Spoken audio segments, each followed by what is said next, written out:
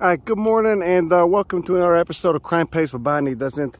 Today, we're a little bit inland from the coast.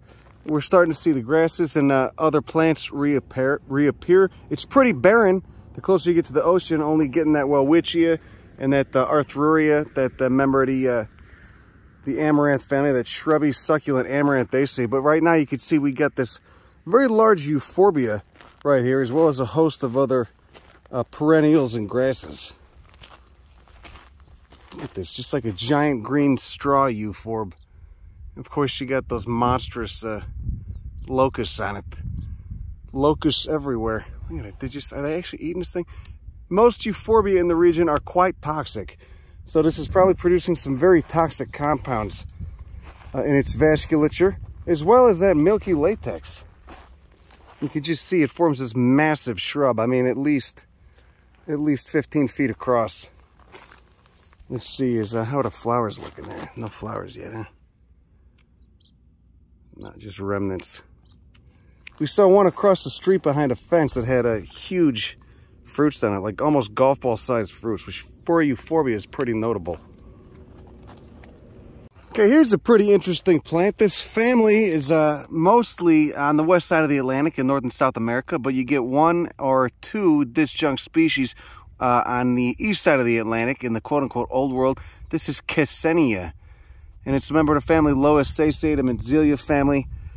Very scabrid leaves like Velcro. Velcro leaves, you can see the leaves right there, and those sepals right there, those large green uh, uh, appendages in between the five white petals, uh, harden off, and the tissue dies when the, the when the flower is pollinated, and they form these little helicopter uh, appendages for the fruit. So the, the fruits are wind dispersed. You can see there's some maturing right there. So this is a Kissenia capensis, and I you get one other uh, species in this family that you get in uh, in uh, Arabia, in the Middle East. Look at the hairs on it. All the trichomes. And again, Mentzelia. You get the Loasa in South America and a few other genera you get uh, Mentzelia and a few other, uh, Mentzelia, Eucnide, etc. Uh, in North America. So Kissenia capensis, Velcro-like leaves. It, you know, I think it's uh, theorized that this, being such a disjunct, you know, the mo most of the families on the west side of the Atlantic in uh, the quote-unquote New World in the neotropics, but, you know, this species and that one other one are, uh, are on the African continent. I believe it's estimated that that uh, dispersal event happened.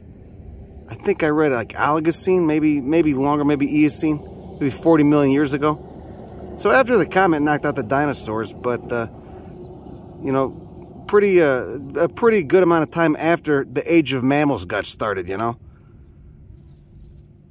Look at that, and of course you just look at the hairs on the goddamn stem. Look at that. I've seen this down in South Africa too. You get it in northern South Africa in the Northern Cape. But a pretty remarkable plant because it's the only member of its family in this region. And again, you get one other species up in, uh, up in the Middle East.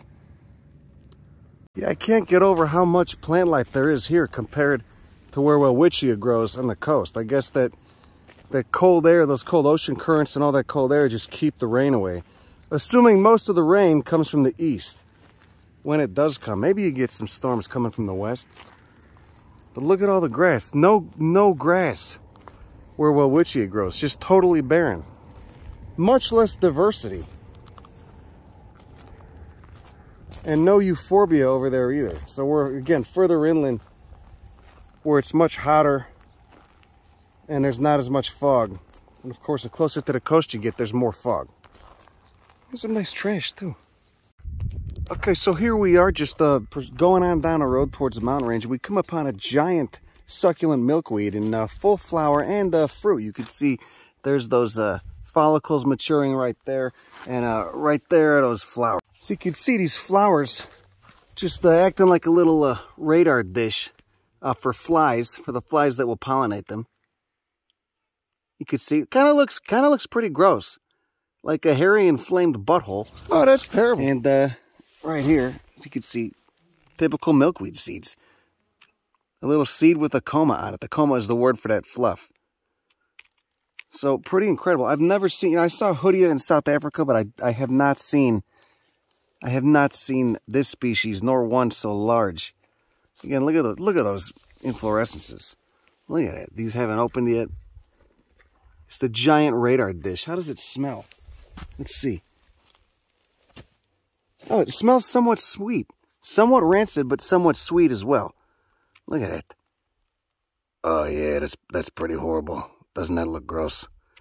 That's what all the stapeliads do. Of the Asclepiadoid subfamily of the Oleander family, Apocynaceae. Yeah, massive bastard. Look at it. Just spiny, succulent stems with those uh. Little tubercles with spines on them. Holy hell. Oh, what do we got here growing on this nice rocky ledge, this nice rocky outcropping? It's a species of croton, Croton gratissimus. All right, we get over 600 species of croton, quite a few in North America as well. This one is pretty common and widespread throughout Central Africa. Look at the silvery luster, the silvery sheen on the abaxial surfaces of those leaves due to the scale-like trichomes. The leaves emit a pleasant fragrance, a very sweet smell, and uh, the leaves also have some interesting secondary chemistry here. So there's some good pharmacological uh, importance here in some of those uh, secondary metabolites produced by this plant. Poinsettia family, Euphorbiaceae. All right, this one's pretty interesting too, all right? From a genus known as tropical almonds, this is Terminalia prunioides from the family Combretaceae from the order Myrtales, same order as guava and eucalyptus, all right? Many of these species are edible. There's over 300 species in the genus. You can see those distinct red fruits right there, almost looking uh, kind of papering with the like a little flake. Now ascending this uh, small nook in a canyon, look at the grain size. Oh, look at that piece of shit right there. Wonder if that's a baboon or what. Look at the grain size in this uh, plutonic rock, this intrusive igneous rock.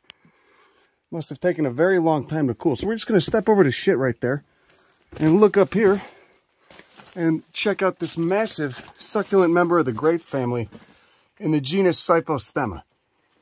Look at that. Nice pachycorm trunk. Massive bastard right here. Sclerophyllous coriaceous leaves. No flowers or fruits, unfortunately. But a member of Vitaceae, the grape family. All right, I was able to shimmy up that rock, and uh, here we go. Look at that succulent peeling bark. The trunk's got to be, I don't know, four feet diameter. And there's those leaves. Hey, let me let me see if I can get up here without breaking my ass. So they got to put a handicap ramp up here. Just start complaining. Who am I ever to let it to management? I'm going to go all out Karen. Jesus, just coming up amidst the granite boulders. So Cyphostemma is a genus of giant succulent grape. Quite a few species in it, very ecologically successful in uh, southern Africa. You could see this one, Cyphostemma currorii, Gets about, I don't know, four foot diameter breast height. You can see there's a missing trunk right there. Uh, and uh, upwards of 20 feet tall. Whole plant probably weighs, I don't know, the size of a pickup truck. Got uh, those coriaceous leaves, very leathery leaves, stiff and sclerophyllous. And again, a member of the grape family Vitaceae. But you get you get a giant pachycorm trunk like that, could store all that water you're freed from the constraints of living in a seasonally dry, very hot environment. We're so close to the equator here. We're at about 20 degrees south latitude in western Namibia. So the per square inch, the sun's intensity is a bit stronger down here. And uh, if you got a rainy season, you got a dry season. The winters are very dry, so this guy might even uh, end up dropping his leaves and just going drought deciduous if need be. But again, it's got so much water stored in that trunk that might not even be necessary. Okay, this is bizarre to see. This looks like a thamnosma. It's certainly a member of that family, Rutaceae. You can see those pellucid oil glands, but the, the fruit, looking like a little ass, looks identical to thamnosma. I wonder if it's in the same genus. Got uh, looks like got trifid leaves right there, and of course it smells pretty pungent, like most members of Rutaceae, the citrus family, do. But uh, no flowers, just fruits. You can see it's right there. Just a, I don't know, maybe a three quarters of a meter tall. Wonder who's living under that rock right there. Look at that. Somebody's living under there. And this right here is a member of Boraginaceae of the genus Codon. There's the two species, possibly three. There's a third one that grows uh, in Namibia that uh, is as yet unidentified. But uh, this is Codon Codonschenkia. You can see the flowers are not quite ready yet, but you can see those bracts. So Boraginaceae is the family here. And what it's done is basically take trichomes, which the family is notorious for. A lot of Boraginaceae have very stiff little trichomes. And it's uh, turned them into, uh, it's basically accentuated them into little spines that cover the leaves and the stems. Because again, herbivory is a huge selection pressure here and has been for millions of years uh, on the African continent. So uh, they're not filled with anything so far as I know. They're not stabbing me now, as uh, you know you would get with uh, Cnidoscolus, the member of the Euphorbiaceae, but uh, but they are impressive. They do put out a punch visually, at least. Again, there's that flower, not quite ready to come out yet. Look, it's a species of hibiscus, and like many members of uh, the Malvaceae, they've got very stiff, uh, stiff hairs, kind of like fiberglass. Stellate trichomes, they're called, except these when those fruits are mature, and I was just touching one over there, uh, the hairs sticking you. They feel like, they literally feel like fiberglass. Here's an open fruit capsule. Flowers are done. I've, I've never seen a mallow with, uh, or a hibiscus with this stiff of hairs. So you got the epicalyx, those little bracts that subtend the ovary. But again, those, those fucking hairs are brutal. Look at it. They're sticking in me. Almost like glochids on a prickly pear.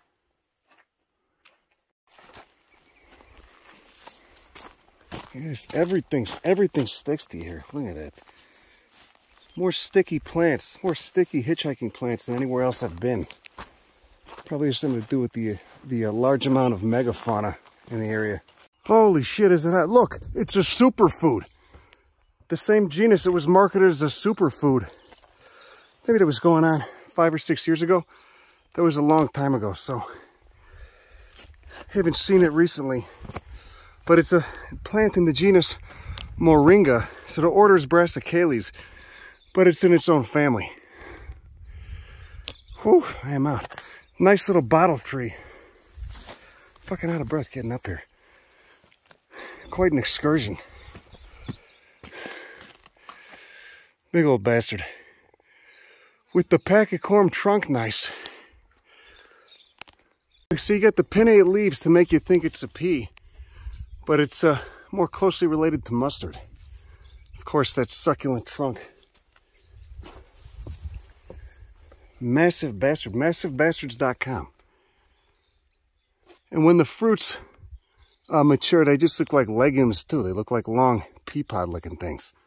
Uh, now this plant right here, though it looks like hell and it looks nondescript, something you'd probably just ignore, looks dead, It's probably one of the most interesting that I've seen so far uh, but aside from Welwitschia in the last few days, right? This is a member of the order Gunnerales, which is uh, the same order as the plant Gunnera, the plant genus Gunnera. If you don't know the plant genus Gunnera, I put a little piece up on the screen right now. It's it's basically a, a more quote-unquote basal plant lineage, an earlier branching lineage of angiosperm. Uh, looks weird as hell, giant leaves. They call it Chilean rhubarb. It's mostly southern hemisphere. Uh, it's invasive in the UK, but it's just a, a really bizarre plant Gunnera is. And Gunnera is a dioecious plant, so plants are either male or female. This is the only other genus in uh, the order Gunnerales, and this is Myrothamnus. This plant is also dioecious. We have a male right here and a female right there. Most interesting about this plant is that it's it's uh, something called poikilohydric, which means uh, like the resurrection fern, Selaginella lepidophylla, it can completely dry out but not die. So these leaves that we're looking at right here are all rolled up. You got the staminate flowers, staminate inflorescences, and leaves. Those leaves are all rolled up, but they're not dead. If you were to cut a branch of this off and put it in a cup of water, uh, six to eight hours later, those leaves would green up and uh, unfurl and start actively photosynthesizing. So, I mean, that alone, it's it's just, I don't know how that something like that even evolves, but there you go. Only two species in the genus, one on uh, the mainland African continent and one in Madagascar. And this is Myrothamnus flabellifolius. So this is a male plant, and you can see right there you got those uh, staminate inflorescences again. Very tiny. And then over here, this is a female plant. And those are the uh, carpels on there. Let's see if we can uh, get in there. There you go. See that? So there's seed in there. So those are the female flowers, female inflorescences. Plants are either male or female. You know, whereas most angiosperms have perfect flowers, uh, you know, having both male and female parts, dioecious plants are either strictly male or female. And you can see there's a little colony of this Myrothamnus right here, just occupying all the nooks and crannies of this rock. Got some over here too. But you just pass it, I mean, if they're not actively photosynthesizing, and just ignore it. It's, you'd think it was dead, but it's not. It's just dormant. It's just waiting for uh, waiting for some rain, waiting for some moisture. Pretty weird. Not many poikilohydric plants, especially among angiosperms. There's plenty of poikilohydric uh, bryophytes, but when you get the flowering plants, it's a rare trait.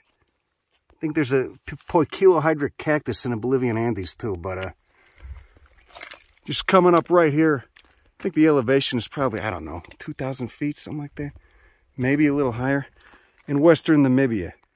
You also get it in uh, the eastern part of Africa at about the same uh, same latitude we're at right now. Anyway, there you go, Myrothamnus flabellifolia. Okay, you schmuck, that's about it for the video, but first we're going to show you what happens when you put this plant in water, when you bring it back to life, the resurrection plant of Namibia.